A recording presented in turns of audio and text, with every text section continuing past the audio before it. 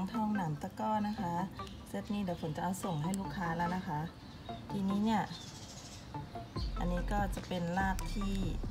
เราล่อรากเอาไว้นะคะ แล้วก็เอาลงปลูกตั้งแต่ครั้งที่แล้วนะคะ รากเขาก็จะมียาวออกมาละ แต่ครั้นี้เนี่ยจะมีอยู่บางต้นนะคะ ที่ฝนไม่ได้ล่อรากนะคะ ทดลองอีกเหมือนกัน ว่าถ้าเราไม่ได้ล่อรากแล้วเราเอาลงปลูกเลยนะคะ จะเป็นยังไงนะคะ ก็ระยะเวลาเท่ากันนะคะ แต่ว่า อันนี้เห็นไหมคะว่ารากเขาก็ยังสั้นๆอยู่เลยนะคะ เมื่อวานดึงออกมาคือมันมันสั้นๆอย่างนี้นะคะ ก็เลยเอามาล่อรากก่อนเพราะว่า เดี๋ยวจะส่งให้ลูกค้านะคะ นี่นะคะ คือมันออกมาแล้วล่ะค่ะ แต่ว่ามันออกช้ากว่าถ้าเราแบบล่อราก ถ้าล่อรากเขาจะออกเร็วกว่านะคะ แล้ว และอันนี้คือ เราเพิ่งรู้ตอนที่เราดึงออกมานะคะ อันนี้ อันนี้มีรากมาอยู่นะคะผลก็เลย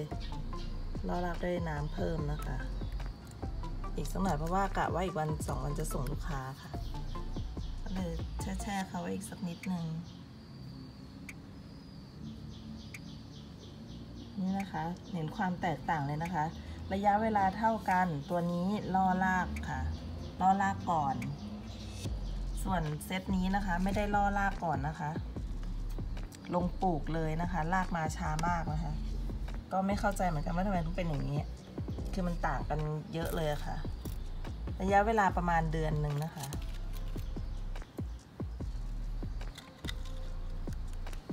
ระยะเวลาก็ประมาณหนึ่งเดือน